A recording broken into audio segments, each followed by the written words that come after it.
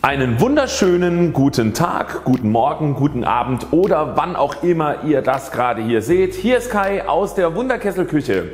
Willkommen zu einer neuen Folge von Basisrezepten aus dem Wunderkessel Forum.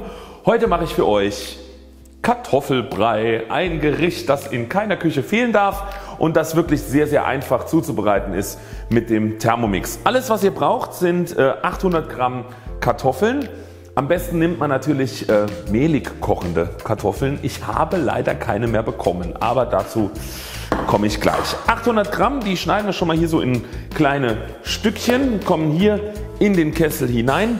Dann 50 Gramm Butter, 400 Gramm Milch oder 400 Milliliter, was das gleiche ist.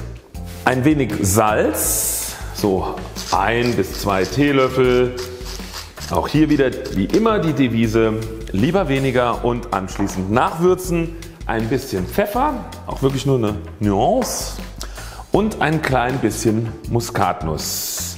Ihr wisst es gibt äh, Leute die mögen sehr gerne Muskatnuss, Leute die mögen das überhaupt nicht so. Deswegen auch hier so die Menge so ein bisschen äh, an den persönlichen Geschmack anpassen.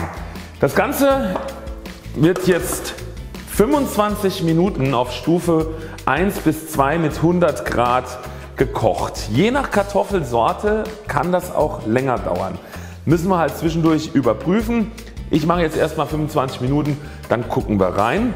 Und äh, wir machen keinen Messbecher drauf, aber als Spritzschutz setzen wir jetzt so diesen Siebeinsatz äh, oben drauf. Also wie gesagt die Garzeit die müsst ihr so ein bisschen an die Kartoffelsorte anpassen. Ähm, auch je kleiner die Kartoffeln geschnitten sind, umso schneller sind die natürlich gar. Es kann sein, dass wir mal zwischendurch auf 90 Grad zurückdrehen müssen, weil auch hier kann das je nach Kartoffelsorte ganz schön schäumen, wenn das erstmal anfängt zu kochen. Dann muss man entweder die Rührstufe ein bisschen hoch, Temperatur ein bisschen runter.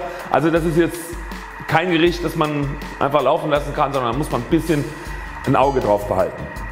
Als kalorienreduzierte Variante könnt ihr natürlich statt der Milch auch ähm, Gemüsebrühe nehmen und da einfach noch einen Schuss Schlagsahne mit reinmachen. Aber ja, ich esse halt auch gerne. Ist egal. Machen wir so.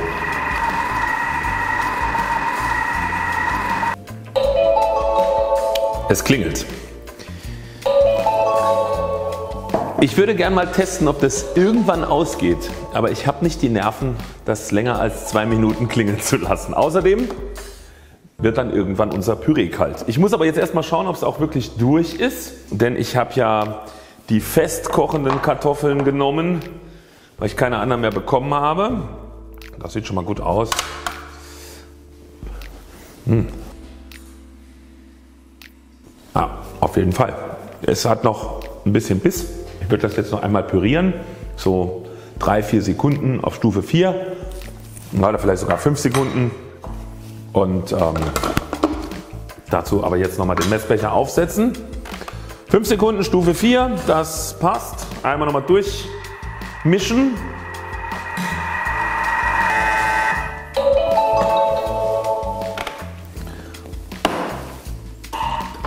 Klingeling. Und das sieht doch schon richtig nach Püree aus. Kartoffelpampe. Nein. Ähm, ich zeige euch das jetzt mal. Das hat also für mich eigentlich die Konsistenz die Püree haben muss. Nicht zu flüssig, nicht zu fest. Es sind auch noch ein paar Stückchen drin. Das finde ich eigentlich sehr angenehm. Und ähm, geschmacklich ist das auch optimal mit dem bisschen Muskat.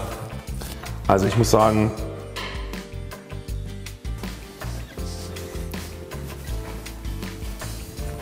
so muss Kartoffelpüree schmecken. Ich finde es wirklich gut.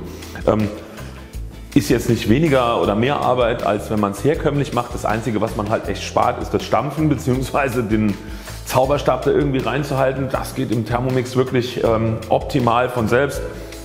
Also Wunderbar, super Beilage zu Kohlrouladen oder Rinderrouladen oder auch zu anderen Gerichten.